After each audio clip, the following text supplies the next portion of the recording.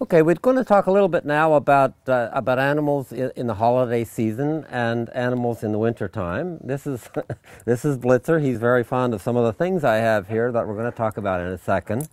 Um, it's, it's, it's very important to keep in mind when the weather turns cold that you should bring your animals inside, cats and dogs. Um, you may think that they're pretty tough and that they can stand pretty cold weather. This guy, uh, we have these two huskies uh, have a tendency to be uh, very good cold weather dogs. They, they lie in a, in a very closed circle, and you can put your hand inside on, on this dog's belly, and it's almost uh, too, too hot to touch. Um, they generate a lot of heat. But um, studies have shown that dogs exposed to excessive cold tend to get arthritis and, and other kinds of things as they get older.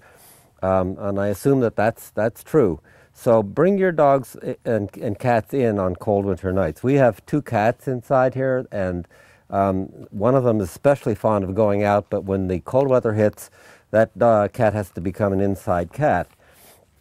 Um, keep in mind also the point that, that uh, snow and ice tend to uh, give the dogs uh, difficulty in walking and uh, they can be injured.